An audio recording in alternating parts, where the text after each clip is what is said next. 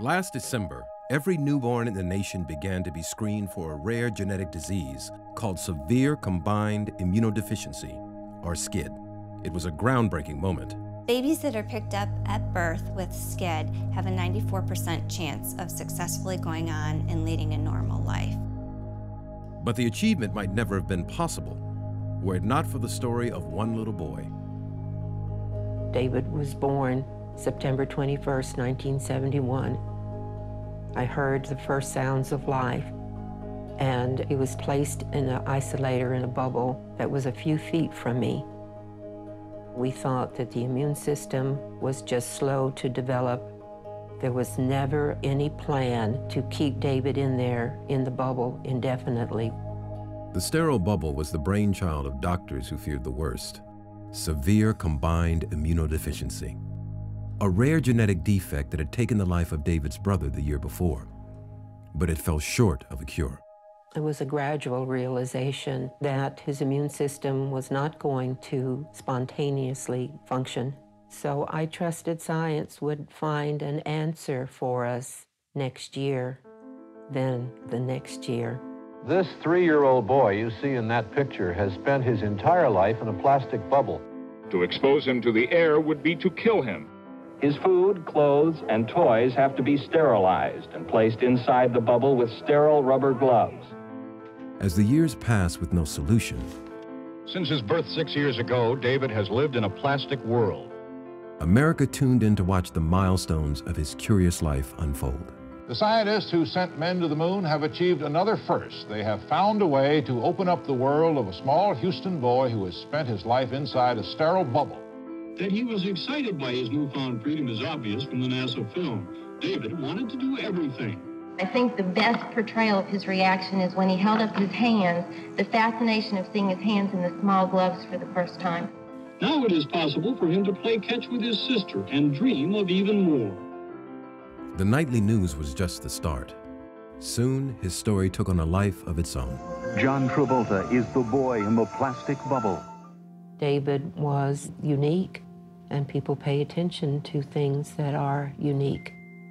When he was about nine years old, he looked at me and he said, Well, I'm a star. I don't have to clean my bubble. And I thought he meant like a star in heaven. And I said, Oh, yes, you are, because you light up my life. And he said, Well, not that kind of star. I'm famous.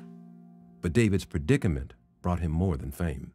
Certain things would filter back about the ethics involved in keeping a boy in this germ free environment.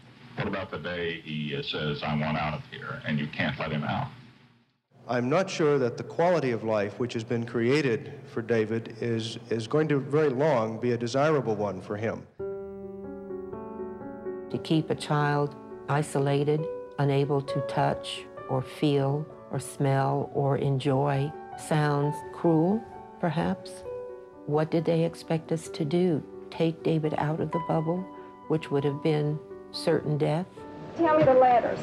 I. Okay. P. Okay. O. P. I try to do my best in school. I know you do. We all knew that a day would come when a decision would have to be made, either in or out. Everybody knew that this isolator system just couldn't continue forever. David had grown into an adolescent without a clear road forward. But medical advances were cause for hope. They were having success with bone marrow transplant from an unmatched donor. Everything seemed to come into play. He would be free, or we would go back to square one.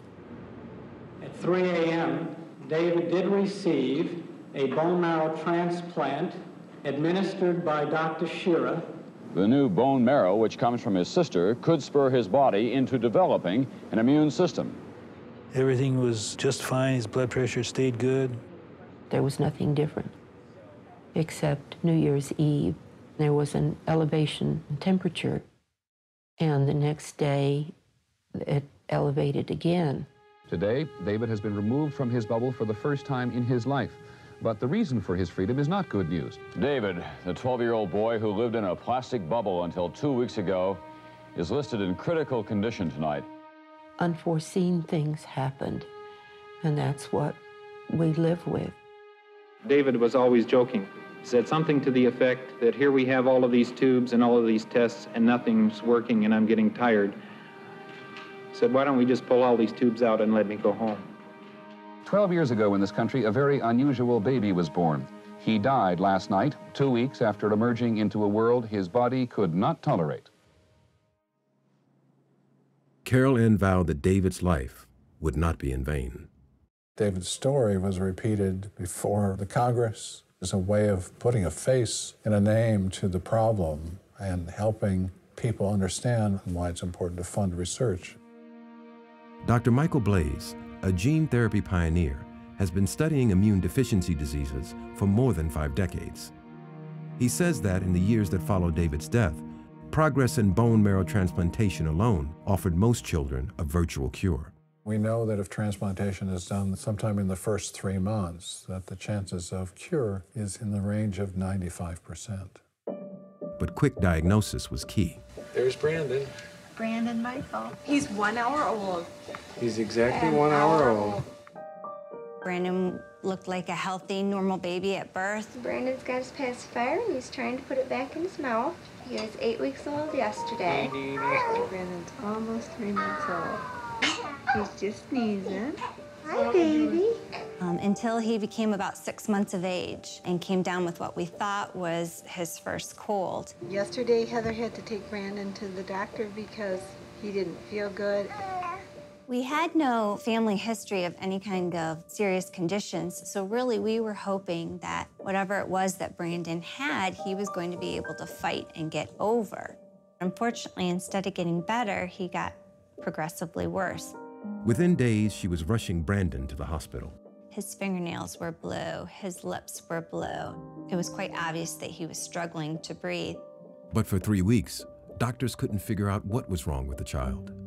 It was after the skin biopsy came back that they first told us they thought he had SCID. And they explained to me a little bit more. We don't put babies in bubbles anymore, but what we do for them to treat this is a bone marrow transplant.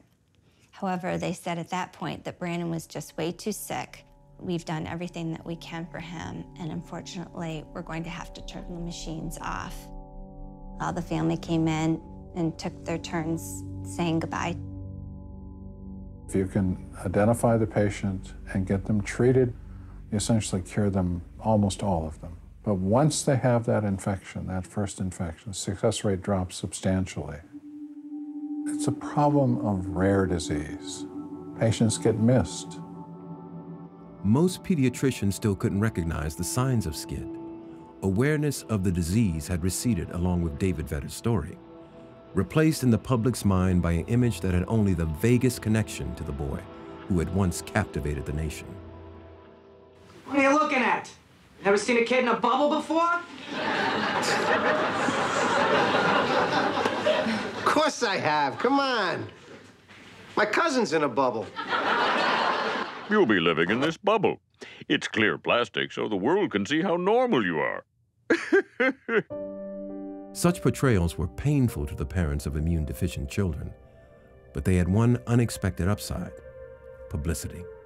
That was very hurtful, but our driving focus is newborn screening. To let the world know that this is a condition that's still taking our babies' lives every day. The death of Heather Smith's first child had taught her that early detection was essential. Forewarned, her second baby was given a landmark bone marrow transplant while still in the womb.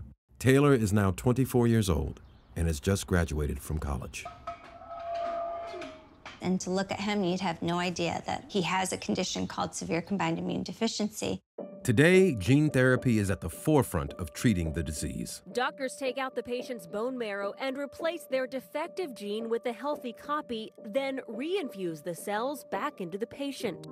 In 2008, advocates like Heather Smith helped push Wisconsin to begin screening all newborns for severe combined immune deficiency. In fits and starts, other states followed suit, leading to the realization that this genetic defect was more common than generally thought. David's story is still helping people today, 30 years later. And not just as a symbol, important medical advances resulted from studying the young boy. From the discovery of the damaged gene that causes the most common form of SCID to another revelation. The little Houston boy provided a vital missing link between a common viral infection and the development of cancer. The final tragedy of David's life was that the transplant had initially worked. But unbeknownst to doctors, the donor's bone marrow contained remnants of an old virus, which, when transferred into David's immune compromised body, triggered an aggressive cancer. It was the first time this connection had been observed. What he gave us was a powerful lesson in many areas of medicine and just in life itself. David was a very courageous boy. I always thought at some point when David left the bubble that he would be a researcher himself and would help mankind that way. It turned out that he is helping mankind, but in a different way.